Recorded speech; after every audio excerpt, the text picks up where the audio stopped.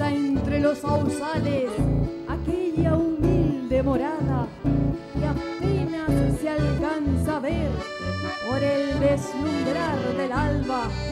Es don José Ravelli tomando unos mate amargos mientras escucha un chamamé. Le florece un zapucay. Más tarde, al preparar las brasas para un asadito dominguero, al tenerse fe, como todo buen campero, comenta con picardía. No es que sepa asar, pero si quedara como suela, hoy ordeñaremos la overa, aunque esto es